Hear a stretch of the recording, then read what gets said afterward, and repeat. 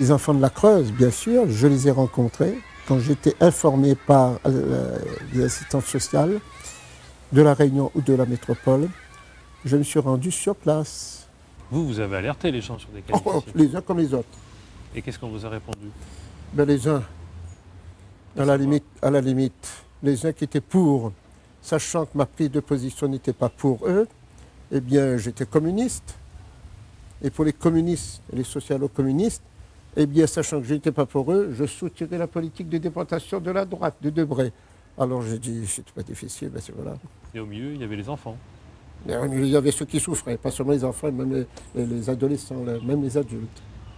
Ça veut dire que derrière cette affaire, il y avait un problème politique? Et Bien sûr, politique. Il faut savoir que on avait peur euh, de cette crise sociale aiguë qui allait provoquer des petites révolutions. Devant le chômage grandissant, ben, il fallait offrir quelque chose. Et alors on a fait partir des enfants, on a fait partir des adolescents. C'était ça la volonté de Michel Debré? C'était ça, mais le contexte social économique de l'époque entraînait cette prise de position politique, qu'on le veuille ou non. Eh oui.